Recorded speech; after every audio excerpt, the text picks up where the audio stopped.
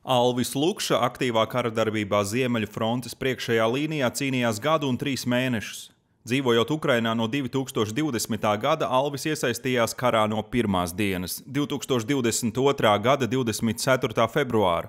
Tobrīd, esot Kijevā, Alvis atsaucās aicinājumam aizsargāt Ukrainu no agresora. Ukraiņi ir motivēti un cīnīsies, ieskaitot mani par katru metru Ukrainas zemes.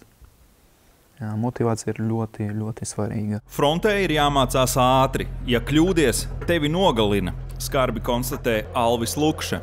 Karavīrs uzskata, ka Ukraina aizturot Krievijas agresiju devusi Latvijai laiku tā saukto zelta stundu sagatavot aizsardzību. Latvijai tagad ir laiks, tas uh, zelta laiks, nezinu cik daudz. Ja? Mm, un, tagad reāli ir jārīkojas ja?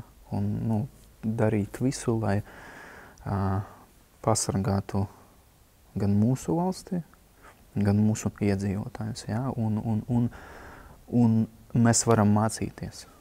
Re, kur ir Ukraina. Mēs varam mācīties, analizēt un x laikā, ja tas notiks, cerams, ka nē, būt gataviem. Ja? Vai nu darīt visu, lai tas X laiks nepienāk. Drosmīgais Ukraiņas armijas kareivis nevairās saukt lietas īstajos vārdos un skaidri iezīmē, kas vajadzīgs Latvijas nosargāšanai. To jau vajadzēja izdarīt uh, vakar, ja?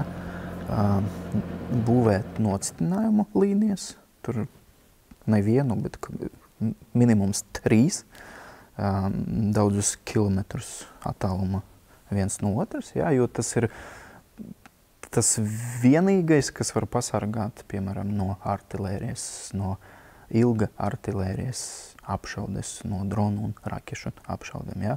Tas ir pirmais.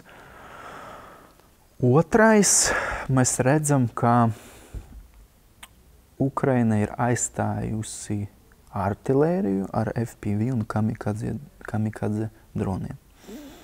Mm, pagaidām es neredzu, lai, piemēram, Latvijas armija ievestu tur kaut kādu programmu, eh, kur apmāca eh, operatorus ar FPV droniem vai kamikaze droniem, bet man liekas, to jau vajadzēja izdarīt jau sen, un tagad ir tas laiks, ir jārīkojas. Karš ir risks katru brīdi, dzīvību var zaudēt jebkurā mirklī. Pagājušā gada 29. maija bija viena no dienām, kad Alvis bija tuvu nāvei. Drons nometa to ladiņu mm, ļoti tuvu man no labās puses.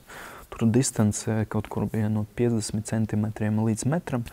Jā, nu, tāpēc tika ievainota visa mana labā puse, un it īpaši kāja nervs. Jā. Nu, tā. Un tad uh, pateicoties maniem cīņas biedriem, mani dabūja ārā. Nu, ot, tur tā ot, bija uh, uh, zelta stunda. Ja, ot, pa to stundu, pat divām sanāca mani evakuēt. Ja es tur paliktu ilgāk, tad jā, man kāju amputēt. Tālāk vairākas operācijas militārajos hospitāļos Harkivas apgabalā un nesen arī viena gaļa zerslimnīcā Rīgā.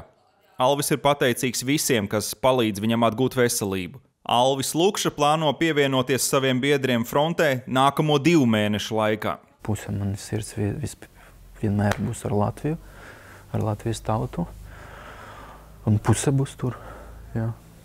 Tu esi gatavs atgriezties? Jā, protams, mans karš vēl nav beidzies. Un otrais, man diezgan nu, jau daudz pieredzes ar ko varu padalīties. Un, nu, esmu vēl, vēl joprojām spējīgs. Ja. Un, ja veselība atļaus, tad, protams, vēl paskraidīšu pa fronti, pastrādāšu mazliet. Krišjāns Kļaviņš, Reinis Žagariņš, RTV.